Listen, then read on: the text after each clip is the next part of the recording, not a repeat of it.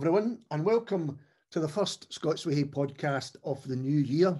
And I'm delighted to be joined by writer David Ross. Hello, David. How you doing? How you doing, Alistair? Good to see you. And good to see anybody. Let's be yeah, honest. I think during this year, I'm going to use these as an excuse to catch up with folk. Uh, absolutely, absolutely. Yeah, I mean, I, I sometimes kind of get the feeling that um, whilst it's great, you know, and, and it's great to see people that particularly, you know, I don't I don't actually remember the last time you know you, and I met and uh, in, in person. It's a, it's been a while. Um, uh, but I, I, you know, the, the, there's that other element of I think the, the the whole Zoom and Teams and Zencastr or whatever. I, I, I do think people are probably getting you know getting a wee bit for work anyway. Yeah. Our, our people are really pretty tired of it. I think you know it's it's, but it's here to stay. I think you know. Um, yeah. I think you have to make the most of it, and at least you know uh, you guys are putting out uh, content and culture, and it's connecting with people at the moment, and I think that's really valuable. I think the last time we would have seen each other in person would have been the event at the uh, Dick Institute at the library. That's right. Aye. It was a great right. night, and that those kind of nights are what I'm really before we got on to talk about the book, which is why those are the kind of nights I'm really missing, is that whole thing of people all being together and reading from books or reading their poetry or playing music or whatever it is. Yeah, that's yeah. really. I didn't realise it would hit me as hard as it has, but it has. Oh, definitely. I mean that that that's without doubt the thing I've missed the most. Just um, and and probably because um, I, I was starting to do more of those kind of things you know, um, I don't, you know, the, the no no harm to the, the the in the in bookshop launch or anything like that where you're kind of reading and talking and stuff like that. But I think when you can sort of make an event of it or a night of it, and I just I kind of noticed that there was probably a lot more of those things happening. Um, and you know maybe maybe it's maybe it's more the people I'm drawn to that see the connection between different elements of culture and even wee bits of film and things like that, yeah. you know. Um, and I thought that was, if if this is the you know late 2019, if this is where we're going with a lot of this, and they can happen in a relatively short pop up type environment, I think that's yeah. brilliant. You know that that's just that's it for me. You know. Um, and then all of a sudden this happened. And you know, with a bit of luck, we'll we'll get back to that um, kind of cross fertilization between different elements of yeah. literature and culture and film and music because that, that I thought that was great. Yeah, they were great, great nights. Um, well, we're here to talk about your latest novel. There's only one Danny Garvey, which I've got a copy here for people watching the video version. And well, let's kick off with a fairly obvious question: Who is Danny Garvey? Who is Danny Garvey, and is there only one Danny Garvey? Is there only the, one? question through the book. Um, I, I, was kind of, I'm trying to think of the the origins of this book, and it and it probably goes back to before I actually had even considered writing anything. Really, I know that sounds a bit uh, perverse, but um, I, will tell you a story, um, and it stuck with me for a long time. Um, maybe about oh, how long would it be? 15 years ago or so, I, I was working down in Leeds a lot. Um, we had a fairly big project there that required me to be there fairly regularly. And um, I think I was going through um, a bit of a dark time personally. Then I was on my own. I was in the Queen's Hotel. Um, and I had, um, I'm fairly sure I had, at this point, I had read David Peace's book, The Damned United yeah. um, which is about um, Brian Clough. I mean, it's a, I, I, I guess it's a, a, a, sort of fictionalized version of Brian Clough's 44 days as manager of Leeds United. And a lot of it takes place in the Queen's Hotel. And it's an unusual kind of structure, uh, right in the right in the middle, but it's it's the middle of the city. Um, it's got this kind of old almost like the shining feel to mm-hmm. um, the corridors and the rooms and all the rest of it. Um, and when I was there, it was midweek, and there didn't seem to be anybody in the hotel ever. You know, yet there were, and the reason I know that is because I think three three nights, uh, and there were three consecutive nights. The fire alarm went off at three in the morning, and everybody was brought outside, and there was only maybe about five or six guests outside. It was the same five or six every night, you know. Um, so go back in and I mulled this over. And when I when I went home, um, because I felt, you know, there was things in the, the Damned United that I remembered, you know, about the hotel almost the, contributing to the isolation that Brian Clough felt, and he started to question his own ability and his own, you know, the whole thing. Um, and that stuck with me a lot, you know. And then when we when I went away overseas and I was writing to start writing, there, there was a lot of that kind of thought about how people are isolated from things that they would connect with, you know. Mm-hmm. And I, I, think there's probably a theme in that runs through quite a lot of the writing, particularly as I've maybe got a wee bit more confident in writing. So this time, from the very beginning, um, I wanted to write about um, trauma and isolation, and it was think it was really thinking back to how I felt at that time, you know, okay. and putting the two together, you know, remembering about um, connecting so much with the Brian Clough story and David Peace's book, which I think's amazing. Um, you know, I thought that's an interesting idea to talk about someone's trauma and you know the the sort of feelings that they have where they feel right on the outside of everything but they have to somehow put that to one side on a weekly basis and perform either as a football player as a manager or some you know and that kind of duality of being able to kind of compartmentalize or, or not those feelings in order to be able to be involved in a fairly male dominated environment where that kind of mental weakness isn't really taken mm. seriously, uh, you know, I, I thought was quite an interesting way to look at football as a background to a story. So Danny really was the vehicle to tell that story, to be honest, you know. Right. So that's interesting because the kind of time he would be isolated and maybe staying in hotels or at least away from his family isn't really in the yeah. book, is it? It's kind of referred to. But when he's young, no, no, no, I, young I, football I mean, to Aberdeen, is that right? Yeah, yeah, he, got, he, he goes to Aberdeen um, and he's only really there for a, a, season and a half, you know.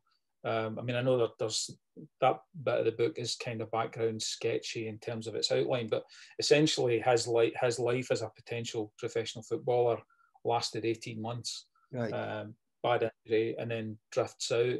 But I think uh, knowing that there, I, I, think the injury had to be uh, part of his downfall, you know, in, in terms of a, to take him into a different place. Sure. And I think once that happened, um, he's really got to come back. You know, he's he's got to come back to um, what most people. I mean, he's he's reluctant to call it home, but yeah. he's got to come back to the village that he grew up in, and it's a small village, and there's only one road into it, and it, it will feel claustrophobic to him. And I think that's the context he had to really be in for a lot of this to come out. You know, I think if he'd stayed at Aberdeen and you know whether it whether he'd been a success there or whether it had just basically been a kind of middle of the road professional career, then you know some something had to shock him and into into um, confront either confronting these feelings that he had or you know addressing it in a different way.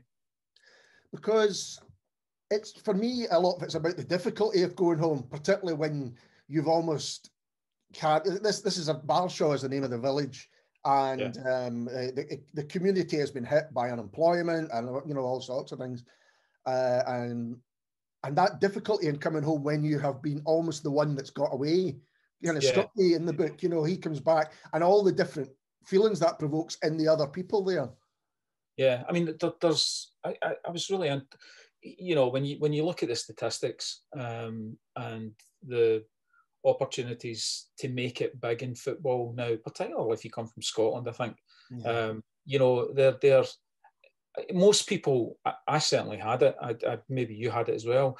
Most people, when they're young, will have that dream. You know, e- even though at while they're having it, they'll probably appreciate um, how unlikely it's going to be to happen. They still have it. You know, nothing stops yeah. that from moving away. You know, um, and I think you know the the reality of that situation, regardless of how good you are as, as a young football player, um, that being the like the most likely outcome, I think I, I, I, was I was interested in, you know, when you're taking someone who's who's potentially damaged anyway, you yeah. know, and you put them into that fairly crushing scenario. You know, it, it was almost an interest in seeing how he responds and how he copes, and you know, can you keep those feelings buried forever? You know, and I don't think you can. I mean, I think I think there's an inevitability that um, you know, there, there, his true self will will emerge, which is probably why um, you know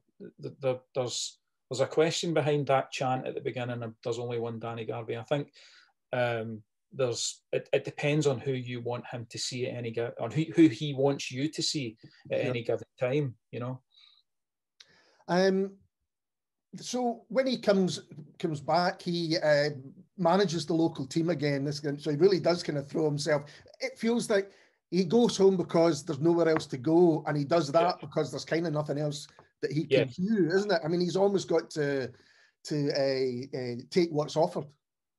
Yeah, I mean, the, the, there's a few hints I think that um, when when he's been with the, the youth club in Arbroath, whilst he's been successful on the pitch, there's there's there's a couple of hints that um, the club are either worried about his mental state or there's been a couple of instances it's referred to um, I don't think I'm giving too much away here by if anybody hasn't read it, but there's incidents referred to in a library, you know, yeah. where um, he's defacing and, and uh, you know pulling pages out of things and taping them back into other taping the endings of certain uh, books into into other ones, and he justifies that um, by by he self justifies that in his narrative by saying, well, if nobody knows the end of Anne Frank, then fuck them, they shouldn't have been a library anyway, you know.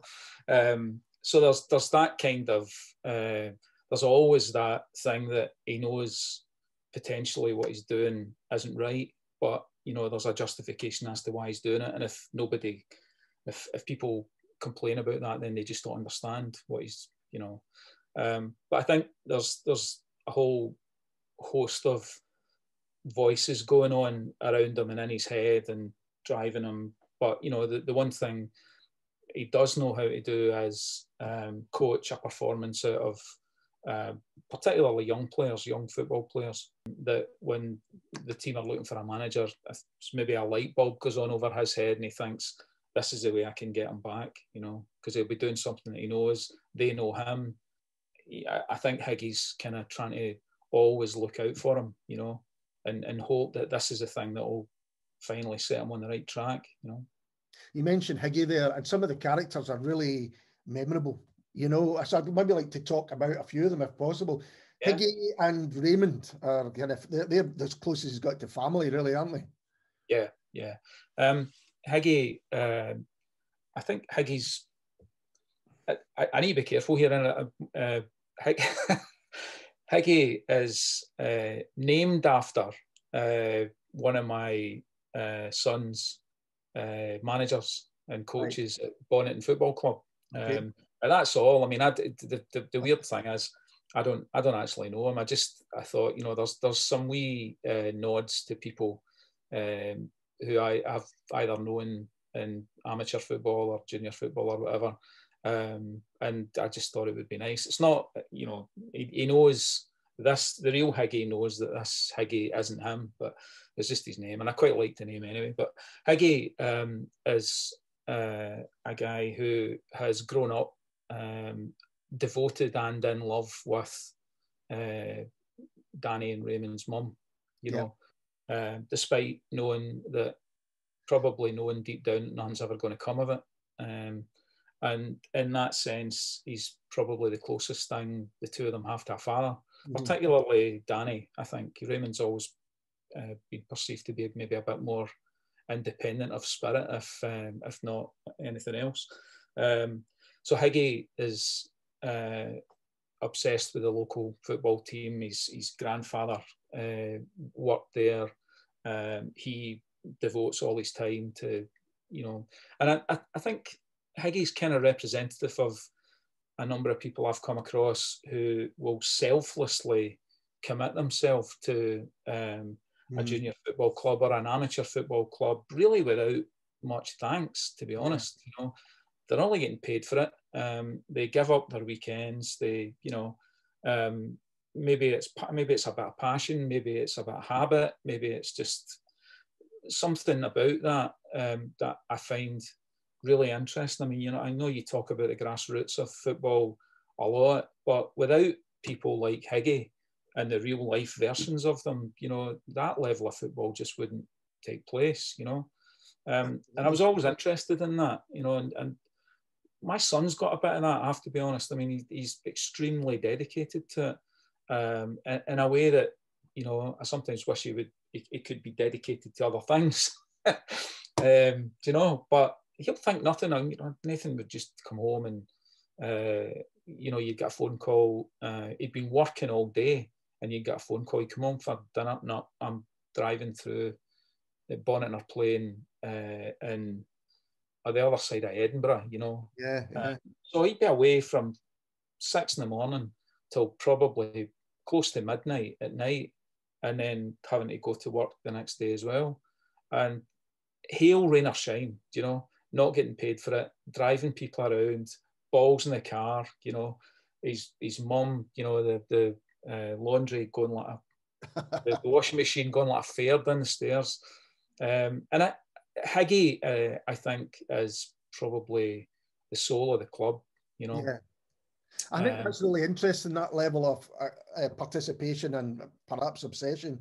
You know, it's it's quite easy to follow. You know, the big teams where everything's winning and all, yeah. but that kind of um, we've all done them. You know, at a level where you know, you're playing in this sometimes stinging rain and, you know, uh, yeah. uh, your showers are cold and all that kind of stuff. To go back again and again, that's yeah, again. so interesting that that's the thing. Because I get, I got to a stage with football that it was like, right, I've kind of done my bit now, you know, uh, that's fine. And you, you want a warm shower, basically.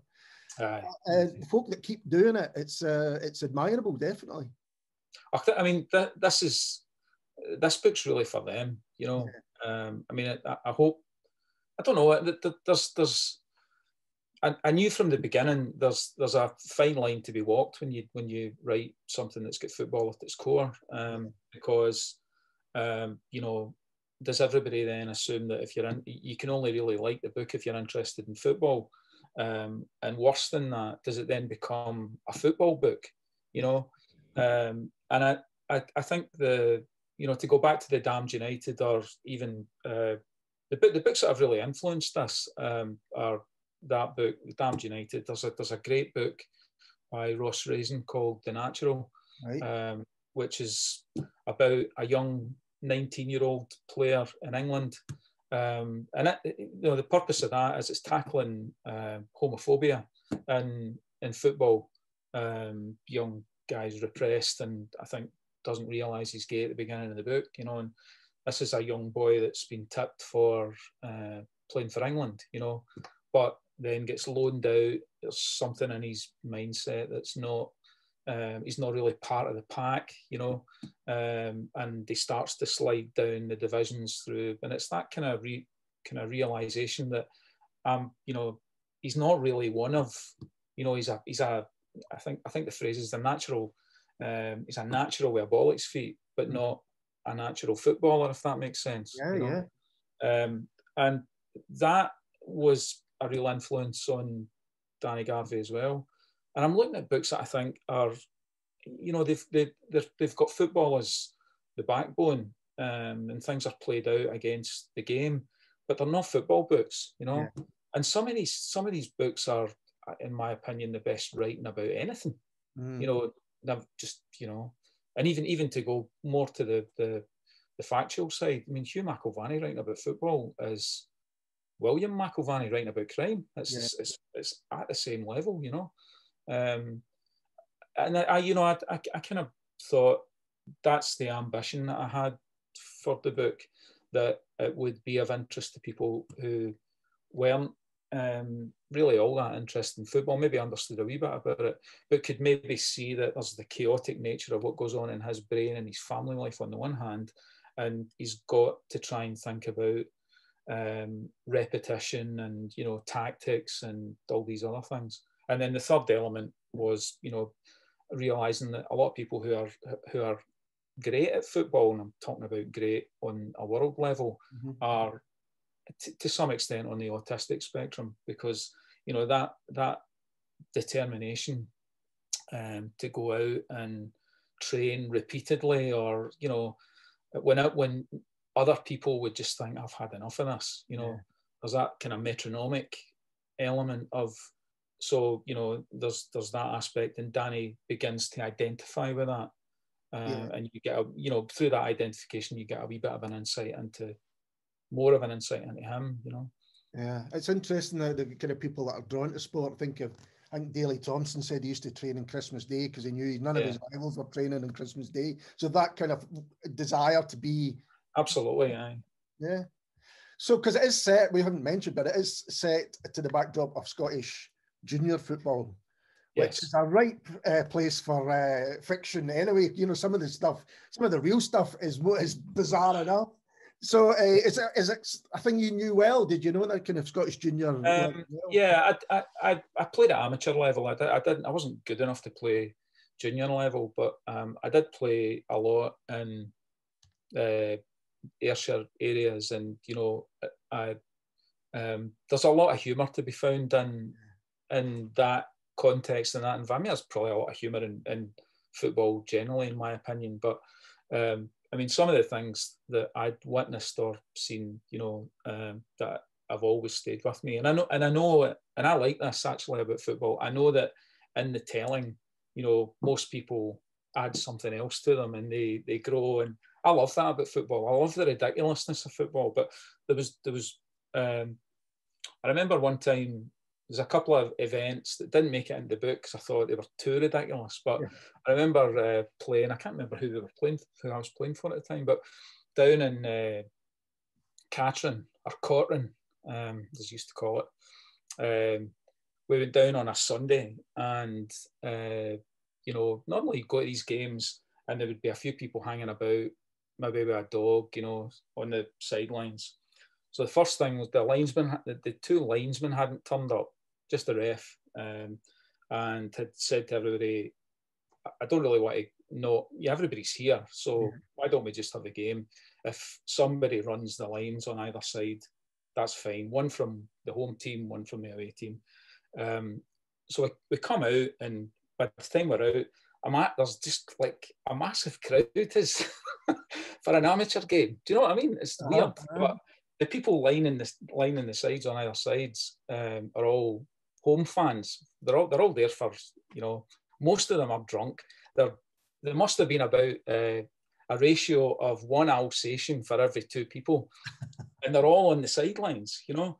And it was just you could tell this is going to be a riot from the beginning. You know, people throwing things onto the pitch, and you know, one of the guys we were with get. Um, hitting the, this is the first time I've ever seen anybody having to go off with this injury. Get hit in the face with a pie and the pie was obviously just brand new bought, you know, and the filling burst, and the this burning hot grease running down this guy's face, you know, and had to go off, had to go off for five minutes to get us treated.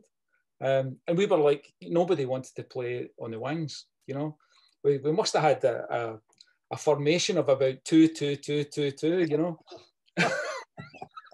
and I'm just thinking, this is mental, you know, it's just absolutely crazy. And the other one, I, I had, uh, I got knocked unconscious in a game in Muirhead, uh, and it was a cup game, and I woke up in a taxi on the way home. Uh, so nobody, nobody wanted to come with me, you know, and make sure I was okay. Back in the days before, you know, there was all this issue with the concussion. Somebody just phoned a taxi, uh, stuck me in it, and I was on the way back to Marnock. On I and I woke up in the taxi, uh, and the guy said to me, "You all right there, son? You okay?" And I said, "I think so." It's like where I thought I was getting kidnapped, and he, he just he told me what had happened, and he said, "Where am I taking you?" And I, I couldn't remember my address, you know. Um, I just we're driving around Kilmarnock with me trying to see if there was anything that I could remember and, and find, you know. And I, of course, I got home, my mum went mental. You know, she was a nurse at hospital. So straight out to Crosshouse Hospital, you know. Um, so the, I, I, I, found myself um, gathering stories like yeah. that. Um, and then I met uh, Alan Rough because uh, oh, Alan was a manager uh-huh. Um, of uh, the Glens in the mid 90s, early mid 90s. Um, so I went to see him a couple of times, mainly just to ask some background detail. I didn't, I didn't, it was one of those things where I didn't really want him to tell me stories because yeah. I thought, I, you know, what do I do with that? If, so I just wanted him to tell me, like, what did a manager get? How much did he get paid? What was the, how did you go about getting, but he, he couldn't help himself. He told me all these amazing stories.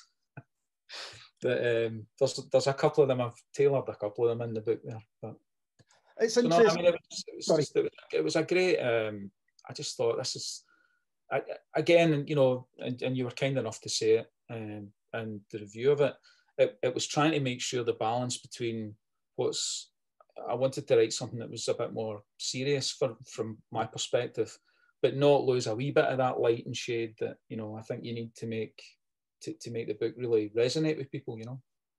No, oh, absolutely. And if I think if if you'd filled it with tales, it would have been entertaining, but it would certainly have taken away, I think, Aye. from Danny's story, which you uh, explained earlier on. And you've also got the characters of Nancy and Damo. Yeah. Tell us a little bit about their role in the book. Well, I, I think Danny's um, reluctance um, to, to even come back, to, it feels as if he's been dragged back yeah, yeah. to Barshaw in some respects. But I think Nancy, uh, Nancy's important for him to feel like actually maybe this isn't the worst thing in the world. You know, um, no, there's a bit of a connection there, and I don't know whether um, I haven't really thought about this much, but I don't know whether it's deliberate on his part to get back at Raymond, or whether there's a connection that he sees with Nancy and makes him think, um, you know, there's a life beyond the one that I've been living that actually I think might be a lot more rewarding. But either way, he, he gets it in his head that there's an atonement for things that he's maybe been in, in his in brief moments of honesty. I think he feels that there's things that he has to atone for, yeah. and it's only by atoning that he sees that he could potentially have a future with her. Mm-hmm. You know, so she becomes the kind of focus of well, that's that's the redemption I'm looking for, and that's the life I want to have. And you know, he's constantly looking at the boy and thinking, I understand him more than anybody else, you know, um, and he sees that future with them. But there's there's a feeling that you know, in, in order to have earned the right to be with her, he has to atone for other things. Yeah, and she has to know um, how he's done that, you know. Um, and you know, I think when we're getting to that part of the book, that's where it becomes a, you know, for Danny anyway, it becomes a lot more confusing yeah, um, you know, you were mentioning more than more than one Danny Garvey. I felt you had at times, and we're all a bit like this, but at times he could see no hope. And then yeah. other times he's suddenly got a little glimpse of something that's a possibility uh, yeah. that could kind of change things for him. And also putting it in a small village. If you live in a city, then that it maybe wouldn't be noted. People maybe wouldn't know, but to do it all, it's all very compressed, isn't it? When yeah. everyone knows your name and everyone knows where you live and all of that stuff. Yeah, there's. I think the the claustrophobia of that. Yeah, um, I think is uh, a theme that runs through the book, and and some people, Higgy, for example, are comfortable with it, probably because they've never known anything else, and and it's a you know maybe is a comfort blanket for Higgy but it's always, you know, maybe because, you know, Raymond's not, um, uh, not Raymond, sorry, maybe Danny knows that some of the things that he's been involved in in the past or the way that he's spoken to people are, you know, aren't right, then in a claustrophobic environment, there's there's little getting away from that, you know. Um, and everything everything feels small, you know. The house that he's living in feels small. The house that he's that Libby lives in, his mom feels small. There's tiny cul-de-sacs, you know. Um, there's only the church and the pub right in the centre of town, opposite the road from each other. Um, and you can walk from the bridge to uh, the football club in, in about 15, 20 minutes. And it's, you know, there, there's that, I think setting it in 1996 as well, there, there was almost like that sense of Barshaw's a village that the rest of the UK is left behind you know, there's the wee story at the beginning about uh, the metaphor of building the bypass. Yeah. Uh, in order that and and some of the the villagers uh, campaigning for that because cars trundling through the villages to get to whether they're going to Dumfries or whether they're going down the A76 or something like that. Um, then they get what they want and someone builds a bypass around it and the town slowly dies because nobody comes there anymore and nobody, you know. Um, yeah, in the background in 1996, you've got the emergence of the Blair government and a, a kind of hopefulness that the country felt, you know, whether whether it was through the music or the government or a change or just, you know, there was that palpable sense that all things are going to get better now, you know. Yeah. Um, but in certain yeah. parts of the of the UK, Cool Britannia was as far away as. as oh, absolutely. Aye. Yeah, that's what I thought about it, and it was interesting. You've got a playlist on the at the back of the book, songs for Nancy. Um, yeah. I guess you just loved doing those kind of things, together. I, I'm I'm aware of the fact that you know people will look at that and think that you know the book starts with a playlist and then the writing comes after that. It, it didn't this time. Um, but I do like um, I, I do like the books feeling like they're a wee bit kind of immersive, you know, and there, there, there are threads of things to to follow. I mean, maybe just because that's the kind of books I like, you know, I, I like maybe books and writing that have connections to other things and take you in different directions, you know. Um, so I, I probably when we started talking about books and things like that with Billy back when the early ones, yeah, I, I sometimes felt the constant need to apologise for bunging in songs that I liked into a playlist at the end. I don't, I don't need to bother about that anymore. No, you do not. but what, how it works really interestingly is a, a, really good reminder of when the book's set, because yeah. there isn't the big kind of um, you know news story or what some people might have done to kind of set it, and actually yeah. you go, oh yeah, that's the the. It's just it's a really and also it's I presume it's a cassette, is it? A. Yeah, I mean there's there's he he gives um he makes Danny makes this gift. yeah, of course. Yeah, yeah, yeah, of course. Uh, and the that's that's effectively what was on it. And you know, he's he's um, that sense of spending not having any real friends of his own. You know, spending time with uh, you know people like Morrissey and Marr and Nick Cave, and you know, um, and I think maybe at, at, the age he's at, still hasn't probably grown out of that uh, period of being completely invested in what these lyrics mean and how they how they relate to. I think particularly the Smiths. You know, uh, I mean, I felt like that. I was a lot younger than 29, uh-huh. but it, was it was intended to try and indicate that in some respects Danny hasn't progressed past that yet. You know, um, it, whilst from a narration point of view, he might seem quite articulate. I think when it comes to emotions and feelings, then he'll um, he'll reach for a song lyric uh, or a song more than being able to actually tell people what he thinks. Aye, more than coming up with his own feelings. Yeah, use, yeah. yeah. That sounds familiar. and then, uh, you know, the I think music's a good device for that. Yeah, uh, and it, it does, I suppose, hark back a wee bit to maybe the tail end of the mixtape. You know, that's what I was thinking. I was still making cassettes regularly at that time. You know, for getting yeah. into work and playing them in my work or whatever. So, yeah, no, I, I, I did.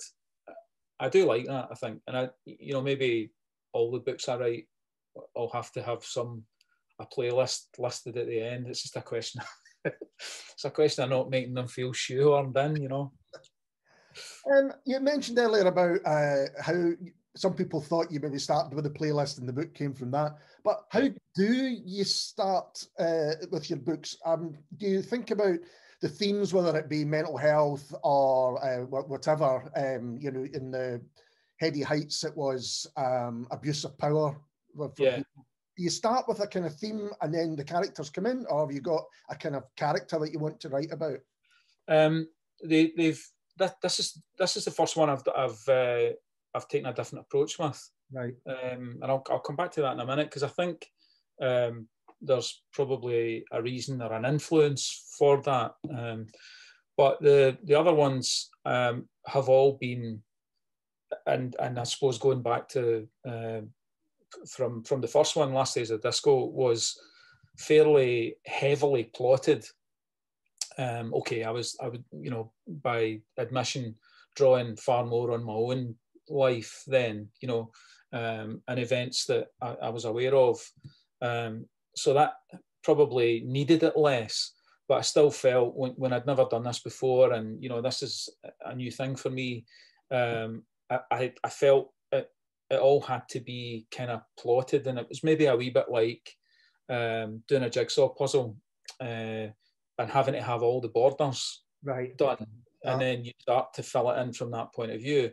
So, you know, the story arc and the timeline, and I kind of knew what was going to happen. And I, I spent a lot of time uh, writing into A5 black diaries, you know, what what happens in this chapter how do i get from this chapter to the next chapter and what the structure of all that is you know? Um uh but as I, I think as i've gone on i've kind of dropped that a bit more albeit there's there still has been um a kind of basic structure or timeline there. Heady heights was the only one that um up to danny garvey actually but heady heights was one where i was probably about 50,000, 60,000 words into a draft with no idea of how it was going to end, you know. Um, and I spent, but I was enjoying it so much. I was just enjoying that process of keeping on writing, and then I would have another idea, and then I thought, right, okay, that's that's taking it in that direction, and then eventually, um, I kind of thought, um, and I read, you know, I, I, I do reach for influences a lot. Um, Rod, Roddy Doyle's The Van yeah. has a big input into, well, sort of all of my books, to be honest, but I think particularly this one where um, when all's said and done, you know, I thought, what is this book about? It's really about middle-aged friendship, you know, um, and the central part of it was uh, Archie and uh, George and um, that's terrible. Forgotten the name of one characters here the three of them at the end with the the van or the fish and chip shop, and you know, yeah. and it, it kind of came to me that right, that's how I'd like this to end. That despite everything, despite all the threats, despite all the feeling that they were going to be murdered or whatever, um, it comes down to three guys sitting on a park bench thinking, "Fucking hell, what happened there?" And then, the, you know, they, they've reconnected in a way. Um, Danny Garvey was different. Um, I um, I don't know whether I mentioned this to you, but um, last 2019, I went over to Germany on a on a short tour with David Keenan, mm-hmm. uh, and we were doing uh, a few. I think it was three gigs originally planned, and it ended up being two. Um, but we're moving around uh, there, and um, I mean, I've known him for a for a while, and we've done other things together. But I'd, I'd mm. never spent a, a, uh, a, that kind of concerted period of time with him, you know. Um, and not only when we were doing the gigs, just listening to him. I mean, he's you, you know, I mean, he's kind of mesmerising to listen to. And this whole thing about the rhythm of the the, the piece and the lack of, uh, you know, the, mm-hmm. the structure is everything. And he said to me one time, I think I, I, think something that he said a lot before, you know, I don't give a fuck about your story, you know. Yeah. Uh, and if you want to make a political point, go and write an article on something. Yeah. And it really struck home with me that um, why don't I just sit down with an idea about human frailty and this character and a wee bit of this background and see where it goes, you know? Yeah. Um, and it, it was um, I think in equal parts, liberating, quite exhilarating, but really frightening as well. You know, because I, I, I thought, um, you know, it's, I don't know what Karen, my publisher's, going to feel about this. Um, I would didn't really want it to have chapters. I'd rather it had parts. You know, yeah. a whole load of things that, that, that were probably different from what I had done before. Um, single less less characters there's, there's only a few and yeah. so that that claustrophobia thing would start to build in a single point narrative you know um, and it, yeah, I mean, it, it, that this is the first time I've had no idea where it was going, other than the timeline of a of a season. If it gone more than a season, it would just have bored people. But I think that you, using the football metaphor as a as a as a uh, a timeline through seasons where you feel maybe differently about things in spring, and then you go through winter, and then you know, yeah, yeah. Uh, do you know what I mean? It's it's that. Um, it seemed like the perfect metaphor for how you examine someone's frailty and and their movement through that. You know, uh, it's interesting. I wonder um, if you feel it would have been a different book, maybe clearly, but if you'd, you'd done it the other way, would you have the? Won't say what the ending is, but would you have had the ending that you had, or do you think it was a kind of process of going right? Here's a blank page. We've got this character. Got maybe some things I want to write about, and let's see where it takes me. Is it that kind yeah. of? yeah, my, my worry, Alistair, there, I think, is my, I'm, I'm going to say my natural optimism, you know, would have turned this into uh, a cup final win and people getting carried off shoulder high and, you know, uh, a shot at glory. Aye, aye. Um, and I, I think um, it, it wasn't what I wanted to do, you know, and I, yeah.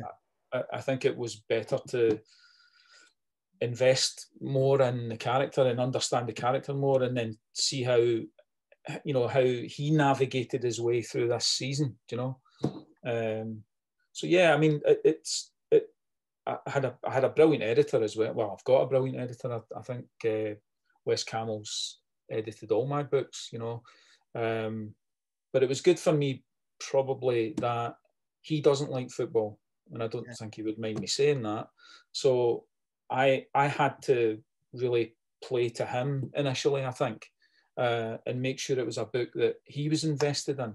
Uh, so that that was really good for me. I think it, it helped it helped me keep away from uh, probably my previously more natural attempts to fall into not not necessarily slapstick, but you know the natural absurdity of football. You know, um, yeah, no, absolutely so that you know, there's, there's probably um, there's probably not that much uh, action on the football field, but where it where it appears, I think it's really important. You know, yeah, and it's well, more yeah. it's it's more as an insight into Danny's position and point of, of point of view at that time as well. I think. Yeah, absolutely. It gives uh, insight into Danny, but it also gives insight into masculine interaction, for want of a better yeah. term. You know, men talking to other men, how they do it. The kind of, you see, not taking it seriously. Sport, particularly football, I think allows people almost to um, vent their feelings without them actually venting their feelings or at least admitting to them. Yeah. And that comes across as a really strong aspect of the book. Yeah, I, I mean, there's, there's, there's just the irrationality of football. I think is um, is great. It's, it's, as I say, it's one of the things I like most about it, to be honest. Uh, that people can just lose themselves in this kind of uh, tribal. I, I, don't mean tribal in terms of. I mean, obviously, it sometimes spills into the, the kind of the negative connotations of what tribal actually means. But yeah. I think it's that whole thing about uh, loyalty and and defending your club and your players in a way that you know if you stripped all that back um, and, and just placed these incidents in the context of everyday life, people probably act differently. You know, um, I mean, my worry, I, I suppose, when, when, if we're talking generally, the worry is that politics has gone the same way. You know that there, there's, uh, you know, there, there's no um, analysis. I don't think of uh, opinions and you know it, it, it either falls into a, ca- a, category of well if that supports my political party or football team then i'm almost duty bound to defend it you know um, yeah. and sometimes you get people then in a, in a, situation where they're almost defending the indefensible and they're trying to concoct arguments that you know the what the, the whole what about element you know yeah. or just for the sake of it you know um, it's funny in some respects, but I, I, think it's it's also a wee bit worrying as well. And hmm. that I, I don't I don't know whether that I don't know whether that's a typically male thing. I suppose it's typically male in terms of the way it plays it out and things like football, you know. Um, but you can kind of see it creeping into other parts of life as well. Yeah, absolutely. Uh, that for or against, and there's no nothing in between. Yeah, there, there's there's no um, there's no there's no space for rational discourse and and sort of listening to people's perspective and and you know disagreeing with it, but respectfully. Um, well, okay, you know, um, how, how, do you know if you're right or I'm right or whatever? Um, and again, you know, maybe that's the thing where football becomes a wee bit of a metaphor for different things on that on that front. You know, not all good, I have to say. So you've covered um, Scottish football. Are you going to set one in Scottish politics?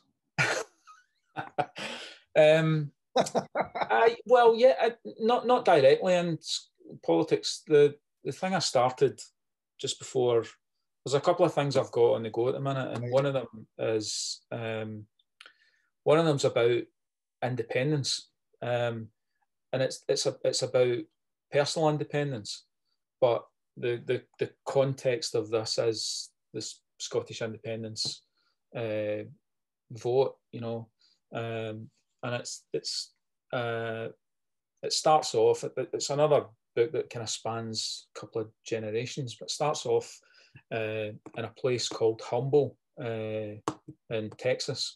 Right. Um, and then you know moves to moves through different parts of America, San Francisco, and then to New York, and then um, there's a kind of connection of different characters in, in Glasgow in 2014 uh, with the American here to cover part of that story. Right. But um, there's been uh, of the briefest of connections between uh, her and um, a young group of guys who were touring in uh, 1983 in America. Um, and it's a wee bit like, I, I kind of like this idea of it being a, a an uh, unrequited love story. Right. Uh, and nostalgia for things that, you know, for things that people have lost. But the independence element is about, you know, if, if you make yourself truly independent, do you then start to build barriers around yourself, you know, from a personal point of view that doesn't let anybody in? So I think it's a wee bit of a reflection from people who um, are alone at the time that they meet up and they're talking about independence um, from a political point of view, but reflecting on decisions and things that they've done in their life before that have maybe caused them to be, you know, um, maybe the, the, the physical independence that they craved at the time isn't necessarily what they would look back and, and um, you know, with any kind of love or maybe wish they'd done something different in the past. Yeah. So I don't know. I mean, so there, there would have to be some political observations within that, I would think. Uh, that sounds like it might be quite far down the line. Is that definitely? Because I'd love to read that. That sounds a cracking book. Well, yeah. I mean, it, it, it's a, it's a bit of a it's a bit of a strange one actually. Um, it's it's called Low Expectations, um, and it had its origins in a film script. Uh, it was based on uh, based on a story idea that um, someone gave me, uh, and I kind of tried to think about this in terms of a script. Um, but actually, it's one of those things that so that, again, in, in complete contrast to what I've told you about Danny Garvey, there is a structure here, and there is, um, but to make it uh, work as a novel, it needs different direction and it needs different focus and different. But I'm interested in the story because I think the story hangs together really well, and it's, there's this kind of transatlantic contrast between not only individuals and people, but how um, you know a culture operates at, at three different times in people's lives, you know, and where the connections um, between them are, you know. And I quite like that. I, I just I, I, like the the idea of examining a whole load of different things through uh, two two metaphors or two people who are are um, going through different things at different times in their life, you know. Um, the other one that I, I started to work on was an, just an idea. I mean, this is one that hasn't gone anywhere else, but um, the more I think about it, the more it feels like a, a play. Um, right. I can't imagine people are rushing to put plays out at the minute.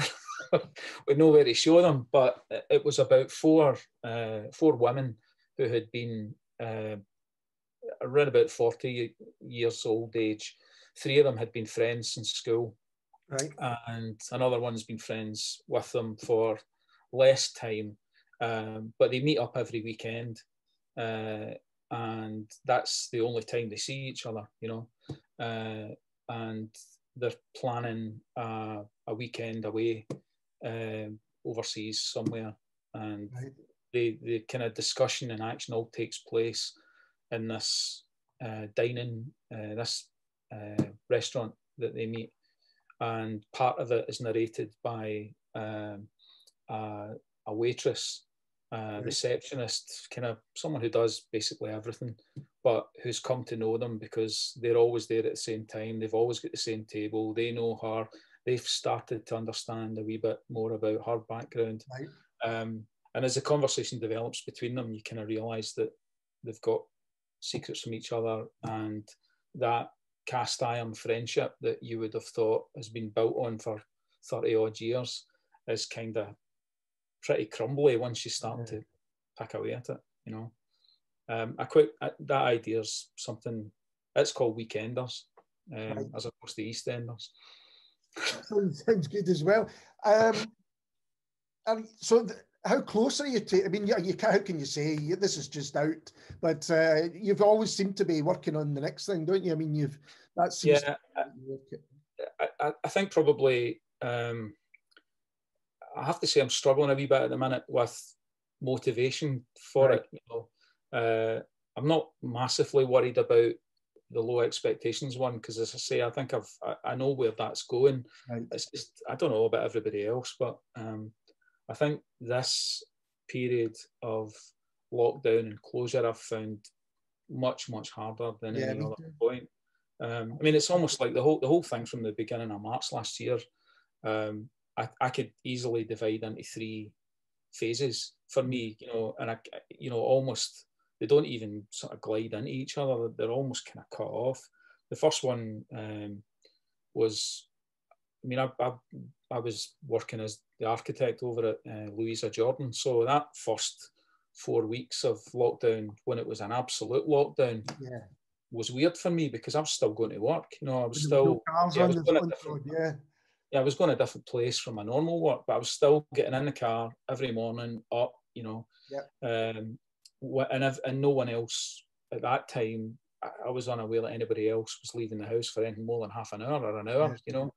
Um, and then you come out of that and you start to go into the summer, and I started to feel this is actually all right. I I, I quite like bits in this. I'm yeah. seeing my family, you know. Uh, I don't have to drive the M77. Um, flexibility of working. We the office was doing really well at that point. Yeah. Um, and I thought, you know, this is this is okay.